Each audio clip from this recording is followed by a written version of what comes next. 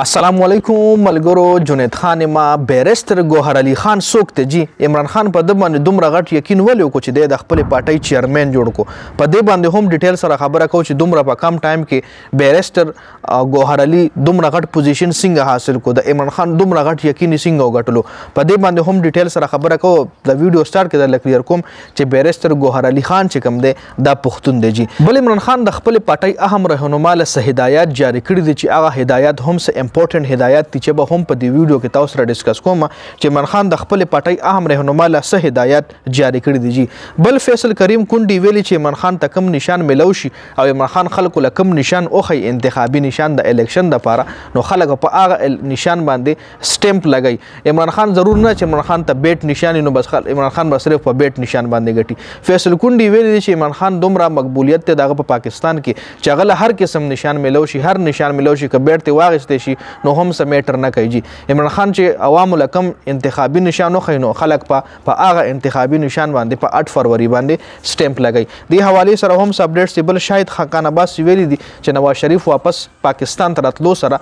نون لیګ پارټۍ هیڅ قسم مقبولیت نه دی سیوا شوی په دې باندې هم ډیټیل سره خبره کو نو ویډیو خپل هم مکمل وګورئ او مخکې ملګرو سره ضرور شریک کړئ ټول نه پیله خو خبره کو چې بیرستر ګوهر علي خان څوک دی جی بیرستر ګوهر علي خان د بنیر نه تعلق لري جی او د پی ټی آی جولای 2022 کې جوائن کړی دا تقریبا سکاله شو چې د پی ټی آی جوائن کړی دا مطلب دومره ډیر ټایم هم د پدی پی ټی آی کې نه تیر کړي خو بیا هم عمران خان په د باندې ډیر غټ ترس کړی دی صرف په ده باندې نه عمران خان په هر پښتون باندې ټرسټ کړی دی تاسو به کتلی وي په قومي اسمبلۍ کې غټ غټ وزارتونه پښتنو ته ملو شوي د عمران خان په حکومت کې چې قومي اسمبلۍ کې مخکې د عمران خان حکومت نه مخکې چې کله عمران خان سیاست له نو راغلی د نواز شریف ته په دور کې چرته کم تیره پښتون به په قومي اسمبلۍ کې تاسو کتو جی خو د عمران خان حکومت کې ډیر پښتانه صد کیسر او مراد سید او ډیر پښتانه چې شلوار کمیس کې به تاسو کته په قومي اسمبلۍ کې شلوار کمیس او کوټ کې به او واسکټ کې به تاسو کتل چې پښتنو ته عمران خان څومره عزت ورکړو عزت هم په دې وجه نو ورکړي چې د دې طرف نه لکه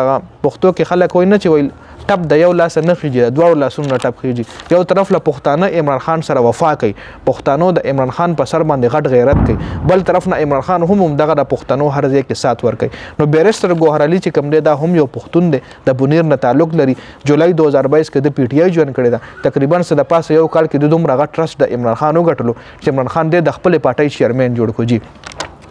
خداب ډېر سوبل پی ټی آی ته عمران خان اهم رهنما چې کوم دي د پی ټی آی کور کمیټي و غیره هغه ته عمران خان دا څه هدایت جاری کړی دي عمران خان دا هدایت جاری کړی چې په میډیا باندې کومه پروپاګاندا د پاکستان فوج خلاف کیږي نو کاغه د پاکستان تحریک انصاف په نوم پیجز دی یا څوک وی او د پی ټی آی سره تعلق لري او هغه د پاک فوج خلاف بکواس کوي نو هغه خلکو نه خپل لا تعلقي اظهار کوي چې دا زمون خلک نه دي دا به زمون خلک ویم نه خدای به د پی ټی آی په نوم باندې یا د ما په نوم باندې به پیج جوړ کړي او په فوج پسې به بکواس کوي عمران خان ویلي چې فوج زما دی زه د فوج وطن چې کم دی زما دی او وطن محافظ چې کم دی غا زمونږ فوج دی نو په فوج پسې چې کم خلک وي بکواس کوي او فوج پسې په میډیا په سوشل میډیا باندې پوسټونه کوي نو دغه خلکو سره د خپل تعلق ختم کوي او دغه خلکو نه د خپل لا تعلقي اظهار وکړي چې دا خپل دا عمران خان خپل پارټۍ لکم دي دا هدایت ورکړي چې کوم داغه خاص کسان بوله زویم کور کمیټي چې ولا ویل شي بل شاهد خاکان عباسي د نون لیگ کس ته د ویل چې نواز شریف راتلو سره پارټۍ ته هیڅ قسم مقبولیت نه دی حاصل پارټي چې مخکې څنګه و ما غرنګ ده چونکه او بل طرف ته نواز شریف وایي چې شکر الحمدلله او زما کیسونه کلیر شو زه سرخورو شم نه جی سرخورو دی لنه شي ویل کېږي سرخورو هغه ل ویل کېږي چې د عوامو زړونو کې ځای جوړ کی څنګه چې عمران خان